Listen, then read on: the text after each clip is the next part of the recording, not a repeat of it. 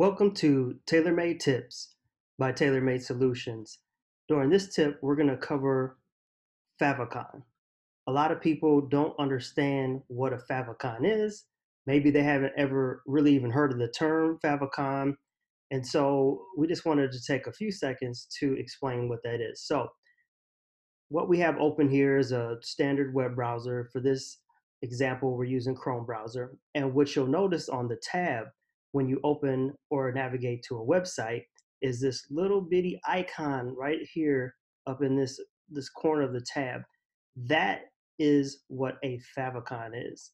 And so a favicon is basically a way to identify what website your uh, visitors are looking at. So that typically you want to be on brand with whatever your company brand is so they can immediately identify what it is.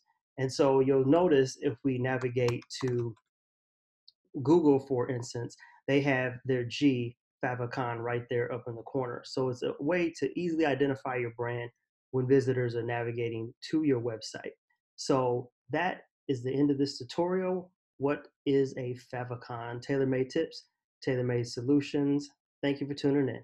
More to follow.